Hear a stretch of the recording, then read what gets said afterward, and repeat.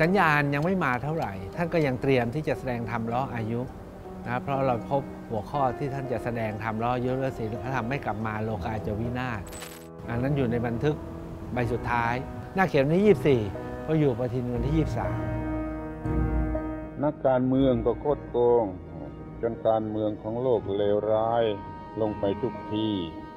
นักการปกครองก็ช่อราดบังหลวงทุกวิถีทาง อันตรพานจะเพิ่มขึ้นจนเต็มบ้านเต็มเมือง ชุมยิ่งกว่ายุงหัวลุงยี่ห้าเนี่ยนะตีสี่เนี่ยฉันเรียกเราแล้วยังบอกท้องท้อง ตื่นตื่นเราจะตายแล้วโว้ยนั่นน่ะ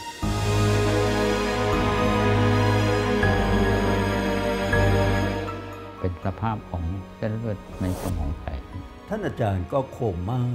เรียกว่าโคม่าลึกไม่รู้ตัวม่านตาท่านเนี่ย เปิดกว้างแล้ว ก็เป็นวาระที่ท่านจะดับ ผมไปเยี่ยมท่านระยะหลังๆ นั้นใกล้เคียงกับที่ท่านจะอาพาธเนี่ยท่านก็พูดกับผมเลย ท่านพูดว่าเราจะตายแล้วท่านคงจะรู้ถึงสภาพร่างกายของท่าน แต่ผมก็ไม่คิดว่าจะเร็วอย่างนั้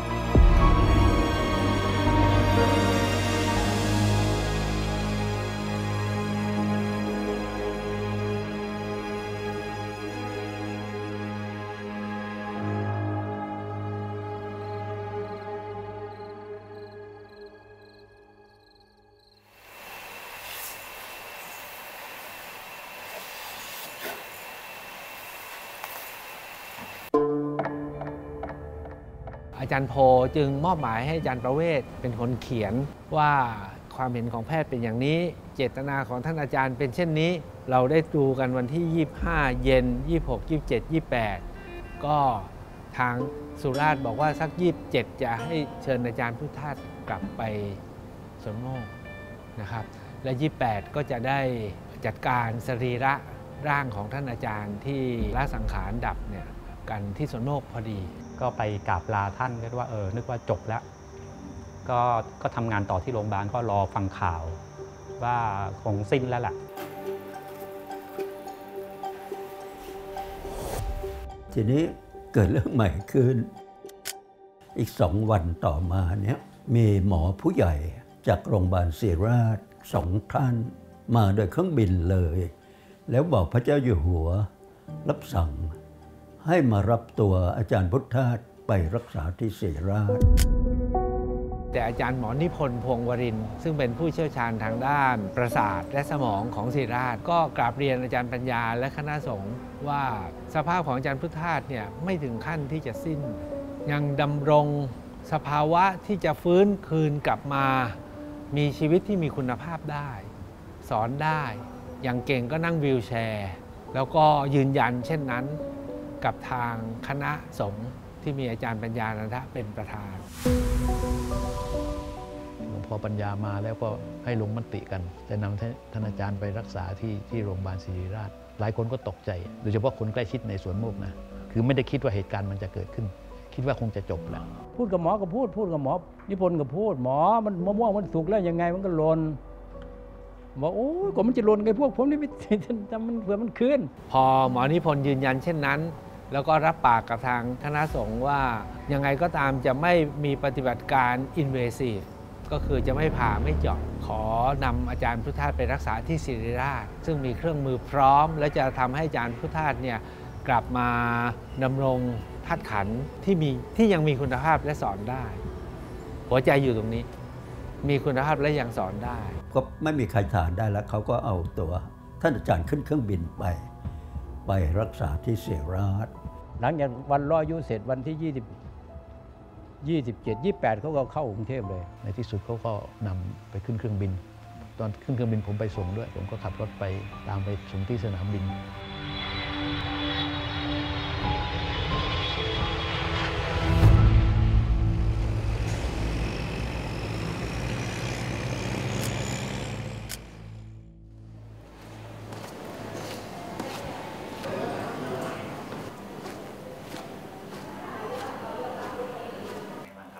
ก็ตรงนี้ก็เป็นออหอพิบาลการหายใจนะครับ ซึ่งหลังจากนำพาท่านพุทธทาสขึ้นเครื่องบินมาลงที่สนามบินดอนเมือง ก็นำท่านออในรถพยาบาลแล้วก็ตรงมาถึงที่หอพิบาลการหายใจ ตอนนั้นน่าจะราวๆสักตตีสองได้ แล้วก็มีการเตรียมอุปกรณ์ต่างๆ ไว้เรียบร้อย มีการให้ข้อมูลกับทางทีมแพทย์ทีมพยาบาลทางนี้ไว้ล่วงหน้าว่าสภาพร่างกาย สภาพการทำงานของระบบอวัยวะสำคัญสำคัญต่าง ๆ เป็นอย่างไร หลังจากนั้นก็เข้าสู่กระบวนการการดูแลรักษาของของผู้ป่วยวิกฤต ระบบการหายใจของโรงพยาบาลศรีราช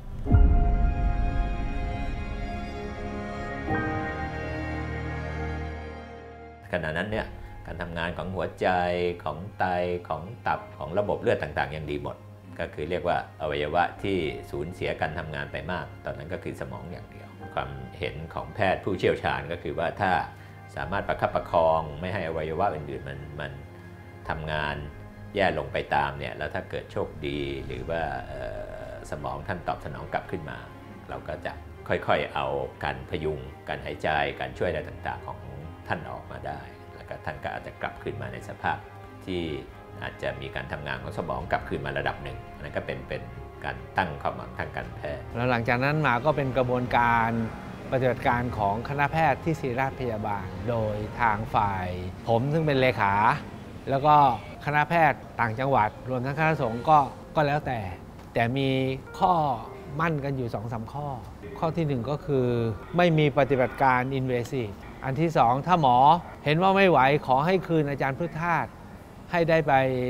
ละธาตุขันของท่านที่สวนโมกอย่ายื้อลากจนจนถึงที่สุดอยู่ที่นี่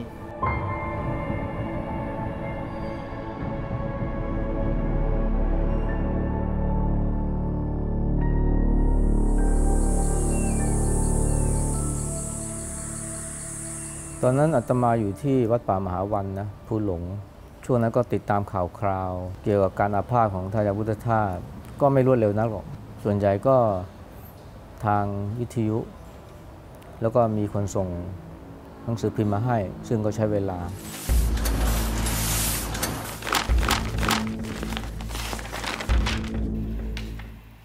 พราะสมัยนั้นเนี่ย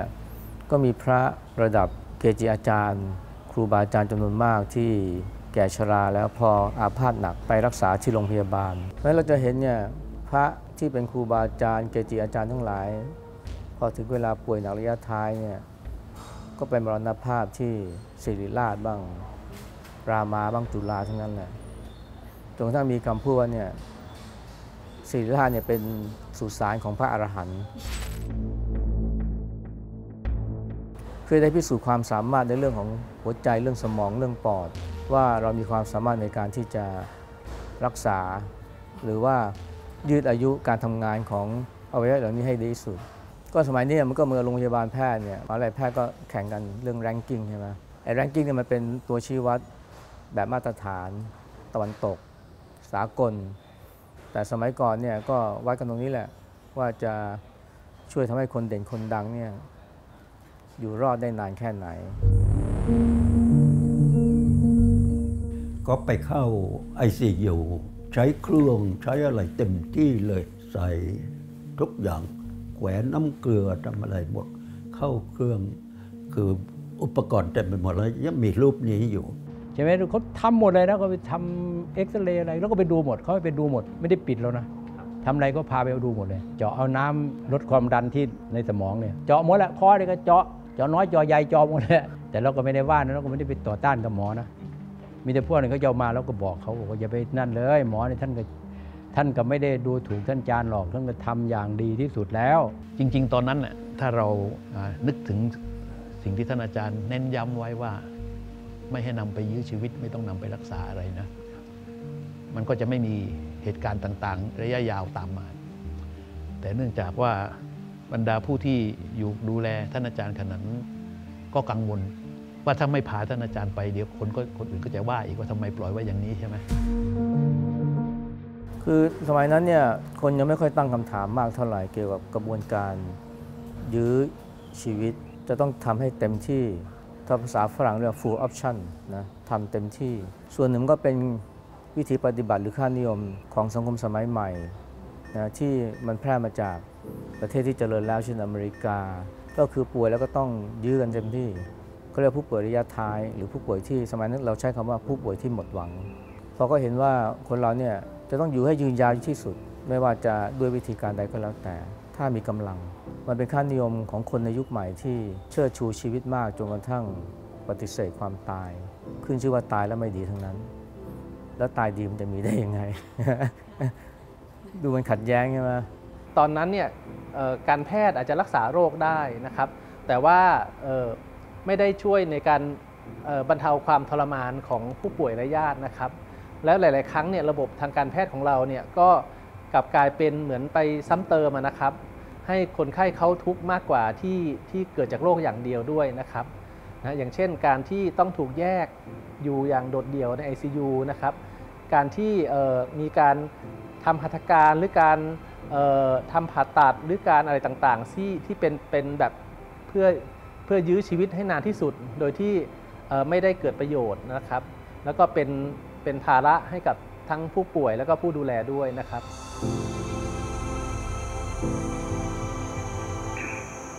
เมื่อนึกถึงสัญชาตญาณของสัตว์ที่มีชีวิต สัญชาตญาณอันที่นำหน้าที่สุดนี่คือความอยากอยู่ความไม่อยากตายถึงแม้ว่าจะไม่ได้กลัวเจ็บปวดกลัวกิริยาอาการตาย ลึกไปกว่านั้น คือกลัวที่จะไม่ได้อยู่นี่คือกลัวตาย ยิ่งสบายเท่าไรยิ่งกลัวตายเท่านั้น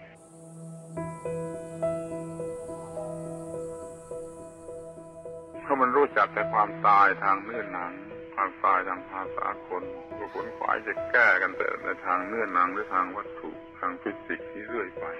ที่จะแก้ความตายด้วยความรู้ทางธรรมให้หมดความรู้สึกว่าตายเนี่ย ไม่เคยคิดกันในโลกนี้ไม่เคยคิดกันนั่นก็เป็นเรื่องที่แก้ไม่รู้จักจบ แก้ไม่รู้จักสิ้นสุด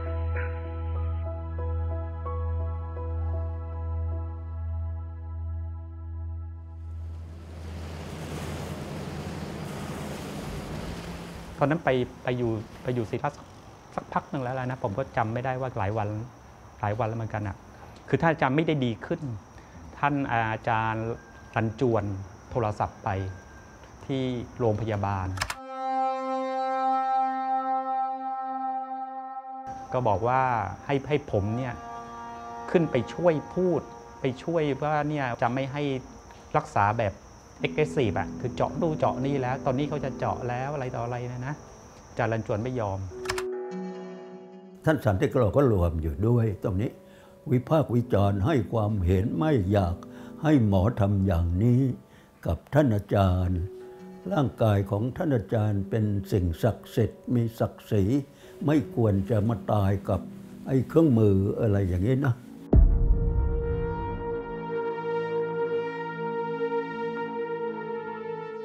ทีนี้ผมเป็นคนกลางฮะเป็นลูกศิษย์ด้วยเป็นหมอด้วย ก็เลยต้องอยู่คนของกลาง ว่าสองข้างเนี่ยความเห็นไม่เหมือนกัน พวกคณะแพทย์เนี่ย ก็อยากทำเต็มที่ เพราะนี่เป็นธรรมชาติของหมอ เขาต้องยืดอายุให้เต็มที่นะถ้ายังไม่ตายเนี่ยเขาต้องไม่ยอมแพ้เอาทุกอย่างกันแม้แต่ในฝั่งแพทย์ฝั่งพยาบาลเองก็ยังมีความเห็นต่างกันอันเราก็จะมีที่ประชุมแพทย์อันหนึ่งที่ประชุมแพทย์ก็จะก็จะมีทั้งแพทย์ผู้เชี่ยวชาญในหลาย ๆ ด้าน ซึ่งก็มีแนวคิดต่อสุขภาพที่แตกต่างกัน กรรมการแพทย์ก็จะคุยกัน ก็จะมีมติว่าโอเควันนี้จะทำโน่นทำนี่อะไรเงี้ยนะแต่ก็ต้องมาคุยกับคณะสิทธิ์ใกล้ชิดอีกอันหนึ่งอะวันนี้ทางกรรมการแพทย์มีมติมาแบบนี้ทางสิทธิ์ว่าไงเช่นวันนี้จะส่งไปทำตรวจนู่นนี่นั่นจะตรวจนู่นจะเจาะเลือดจะตรวจพิเศษ หรืออาจจะถึงอาจจะมีการลุกล้ำร่างกายบ้างอะไรเงี้ยนะสิทธิานุสิทธิ์ก็อาจจะมีความเห็นอะไรบางอย่างที่ต่างกัน ก็จะต่อรอง ตกลงกันในที่ประชุม ซึ่งก็ก็มีลักษณะแบบนี้ไปไปแบบประมาณอยู่ตลอด ในในที่ประชุมนี่จะรู้สึกว่าบรรยากาศการประชุมเนี่ยนะเป็นการถกเถียงแบบรุนแรงนะใช้อารมณ์ฝั่งฝั่งที่ไม่อยากให้รักษาตามวิธีการของแพทย์สมัยใหม่เนี่ยจะเป็นส่วนน้อย เพราะว่ารู้ดีกว่าหมอไม่ได้ไอ้นั้นที่เรารักษาคือรักษาโรครักษาคนไข้ หมอเขารู้ดีกว่านะ คนที่ไม่ใช่หมอจะไปรู้ดียังไงกก็สุดท้ายก็คือรักษาเหมือนเดิมก็คืออยู่ใน ICU นั่นแหละผมว่ามันมีจุดพลาดอยู่อันอันหนึ่งคือตอนที่ประชุมและทำพินัยกรรมร่วมกับท่านอาจารย์เนี่ยตอนนั้นถ้ามีเขียนลงไปด้วยว่า ถ้าเจ็บป่วยอย่างไร ไม่ให้นำตัวไปรักษายื้อชีวิตเนี่ยให้มีอยู่ด้วยในส่วนของพินัยกรรมเนี่ยทำพินัยกรรมเกี่ยวกับการเจ็บป่วยไว้ด้วยนะเหมือนกับทำพินัยกรรมเกี่ยวกับงานศพอะ แล้วก็ให้รู้กันทั่วไปเลย อาจจะทำให้เราสามารถที่จะยื้อไม่ให้เขาเอาท่านอาจารย์ไปรักษาได้ เพราะเราอาจจะเอานี้มาแสดงใช่ไหมครับ แต่ตอนนี้มันไม่มีไง เพียงแต่ท่านอาจารย์พูดพูดสั่งไว้เท่านั้นแหละแล้วก็ยากที่จะทำได้เลย โดยระหว่างนั้นเนี่ยก็มีประเด็น2อสประเด็นที่เป็นประเด็นใหญ่ ผมคิดว่าอันนี้ก็เป็นปรากฏการณ์สำคัญนะของสังคมก็คือหนังสือพิมพ์ วิทยุโทรทัศน์ ก็ทำข่าวเยอะมาก เป็นกรณีที่ที่ไม่เคยมีมากมาก่อนในสังคมนะครับ เป็นความตื่นตัวขณะเดียวกันธรรมชาติของคนเนี่ยก็ชอบข่าวที่หวือหวา โดยเฉพาะอย่างยิ่งข่าวที่มีความขัดแย้ง ถ้าข่าวมีแต่โมทนาสาธุโมทนาสาธุเนี่ยคนอาจจะไม่ค่อยตามเท่าไหร่ ก็เลยต้องพยายามตาม หรือแย่ให้เกิดความเห็นต่าง ก็มันเป็นกระบวนการทำข่าวไง ตอนนั้นน่ะหนังสือพิมพ์ก็ขายดีทำข่าวมีเหตุการณ์ต่างๆ ก็ได้ได้ขายข่าวได้อะไรต่ออะไรเขาก็พยายามนะหนึ่งตั้งหัวข้อข่าวให้สนใจน่าสนใจ อย่างเช่น ท่านประธานอาการดีขึ้นวันนี้ขยับอะไรนิ้วได้อะไรก็ตามอะเท่าที่ทราบจากพระใกล้ชิดคนดูแลใกล้ชิดไม่จริงทั้งนั้นแหละไม่ได้มีอะไรดีขึ้นคือมีแต่ค่อย ๆ มอดดับไปเท่านั้นเอง ไม่มีอะไรดีขึ้นเลยอะ ตอนอยู่ ICU เนี่ยคงเป็น multi organ failure เข้าใจว่าคงมีการติดเชื้อด้วย สังเกตเวลาติดเชื้อเนี่ยการหายใจเขาก็ล้มเหลว ต้องใช้เครื่องช่วยหายใจ แล้วก็ใช้เอ่ออะไรอะยาเพิ่มความดันโลหิตอ่ายาเพิ่มความดันรักษาความความดัน แล้วก็ทานอาหารก็ให้อาหารก็หลังๆรู้สึกจะไม่รับสายสายใจนะแล้วก็มีถ่ายเป็นเลือดด้วยใช่ไหมฮะ ในรายที่เป็นติดเชื้อ sep sis เนี่ยถ้ามี multi-organ failure ส่วนมากก็อัตราการตายสูง จนสุดท้ายเราเองในฐานะคนเฝ้าอยู่ในก็รู้ว่ามันไม่ไหวจริง ๆ พวกเราได้ปฏิบัติการ2อสอย่าง อันที่หนึ่งก็คือนำเรื่องทั้งหมดเนี่ยเรียนอาจารย์ประเวศ อาจารย์หมอวิจารณ์ แล้วก็อาจารย์ปัญญานันทะว่ามันน่าจะอย่างนี้แล้ว ขอให้อาจารย์ช่วยเป็นหลักในการตัดสินใจ แล้วแจ้งให้กับคณะแพทย์ทราบเถิด ถ้าไม่ไหวก็ปล่อย เราไม่ได้ขอให้ยื้อ อาจารย์พุทธาสก็ไม่เจตนาท่านไม่ยื้อจริงๆ เราจบแล้วด้วยซ้ำไป แล้วตอนเลิกยื้อเนี่ยขอได้อยากประกาศว่า เพราะสิทธิ์ไม่ยอม เรามีหมายเหตุอย่างนั้นเลย อันนี้เป็นเรื่องลับมากแต่วันนี้ผ่านมาแล้ว 30 ปีนะครับเอาเป็นบทเรียนของสาธารณะ แต่อันที่สองเนี่ยเราก็ทำเรื่องกราบทูลไปยังสมเด็จพระสังฆราชรายงาน แล้วก็ ถวายพระพรที่ทรงมีพระมหากรุณาธิคุณต่ออาจารย์พุทธาแต่ให้ทราบว่าทางคณะสิทธิ์เนี่ยได้ติดตามแล้วเห็นเป็นเช่นนี้นะครับ ซึ่งสำเนาจดหมายยังมีหมดนะครับ ส่งไปยังทุกฝ่ายเพื่อทราบทั้งฝ่ายสงฆ์ฝ่ายรัฐ แล้วก็ฝ่ายราช แล้วก็ส่งสัญญาณให้หมอได้วางใจ แล้วก็อย่าพูดเป็นอื่น ก็เป็นสัญญาณที่เห็นมาในช่วงเอ่อ24-48 ชั่วโมงแหละจนจนหัวค่ำของของคืนวันที่เกิดเหตุ ตอนนั้นเราเเริ่มเห็นของเสียข้างในตัว ความเป็นกรดในเลือดมากขึ้น การหายใจ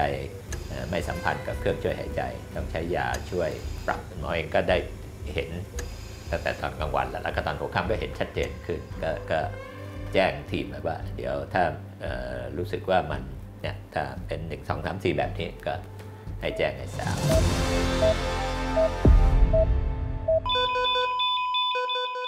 ก็พอประมาณหลังเที่ยงคืนก็ได้รับการแจ้งว่ามันมี 1 2 3 4 ซึ่งเป็นสัญญาณว่าร่างกายโดยเฉพาะการทำงานของไตนั้นกูไม่กลับทั่วไปก็คือต้องทำการล้างไต จริงๆเราก็ยังยื้อต่อไปได้นะโดยการทำล้างไตฟอกเลือดอย่างที่คนเข้าใจกันแต่นั้นแกก็เราตกลงกันแล้วว่าจะไม่ถึงจุดนี้ก็จะไม่ทำนั่นก็เป็นที่มาว่า ก็จะเรียกว่างานก็คือ activate เอ่อ system แล้วว่าเอ่อถึงจุดข้อตกลงข้อที่ 2 แล้ว การยื้อต่อไปนั้นไม่เป็นประโยชน์กับใครทั้งนั้น ตอนนั้นหกทุ่ม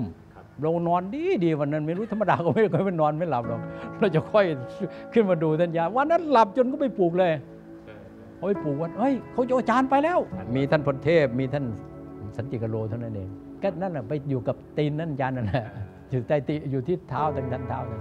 ไปนั่งอยู่ตรงนั้น แล้วก็ดูว่า ท่านยังมีลมหายใจไหมก็มีอยู่คือคือมันยังมันยังมีคือยังหายใจอยู่ ระบบก็จะรายงานรายดังผู้มีอำนาจในการตัดสินใจเป็นลำดับขึ้นไป จนถึงการตัดสินใจเคลื่อนย้ายท่านตอนช่วงรุ่งเช้า ของวันนั้นที่เราเคลื่อนย้ายท่านออกจากโรงพยาบาลศรีราชกลับไปที่สนามบินดอนเมือง แล้วก็กลับไปที่สนามบินสุราษฎร์ธานี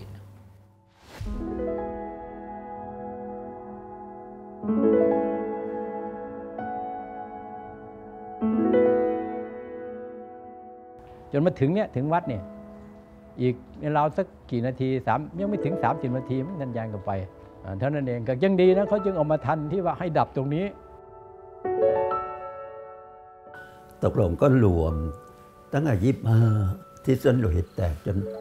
มรณภาวันที่แปดมรณภาพในที่กุฏิของท่านที่ท่านเคยอยู่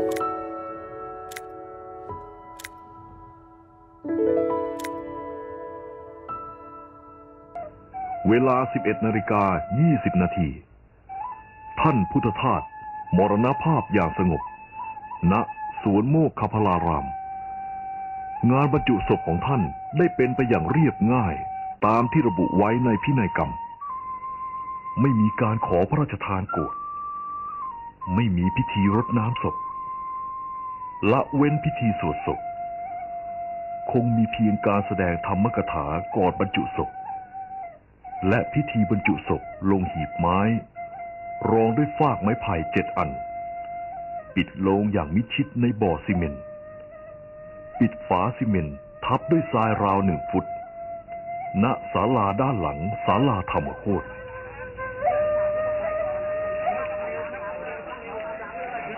พอ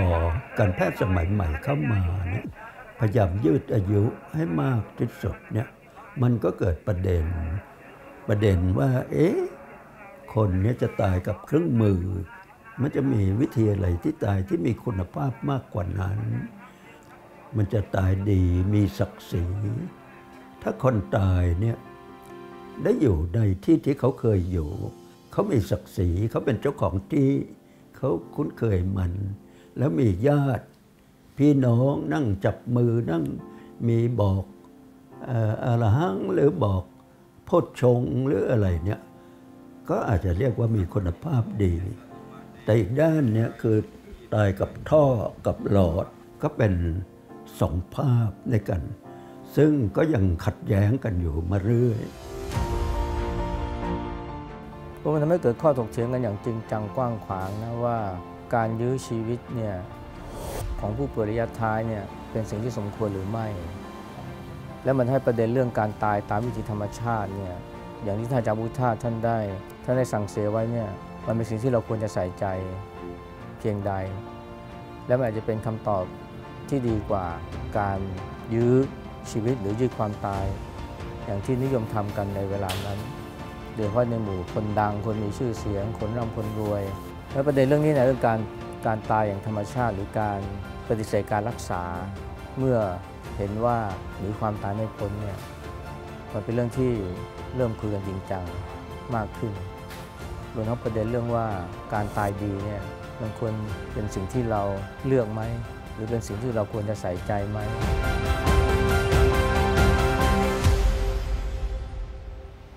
หายใจเข้าและออกสบายสบาย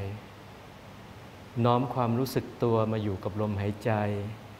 อยู่กับ ร่างกายที่นอนทอดอยู่ จริงๆ สนใจตั้งแต่ 10 ปีที่แล้วที่บอกว่าคุณแม่จะเสียชีวิตนะคะแล้วอยู่ใน ICU พอหลังจากนั้น 4 ปีคุณพ่อเสียอีก แต่เรารู้สึกว่าการตายของแม่เนี่ยมีอานิสงส์อย่างหนึ่งคือทำให้เราได้เตรียมพ่อ อายุขนาดนี้แล้วอะป๊าป๊ายังมายืนรอลูกสาวอะ ตอนนั้นอะเราก็ลำคาญว่าโตขนาดนี้แล้วมันรอทำไมอะไรอย่างเงี้ยจะว่ามันอาจจะเป็นเหมือนกับตอนนั้นที่ เราคิดถึงป้าป้าว่าทำไมป้ายังไม่กลับบ้านตอนที่เราเป็นเด็กๆ มันก็คงเป็นความรู้สึกเดียวกันค่ะมีโอกาสได้ได้ไปอบรมไปเชิญความตายอย่างสงบกับพระอาจารย์ไพศาลวิสาโรโรงพยาบาลเองก็มีมีการดูแลผู้ป่วยระยะสุดท้ายอยู่แล้วนะเราก็ได้มีโอกาสเข้าไปร่วมเ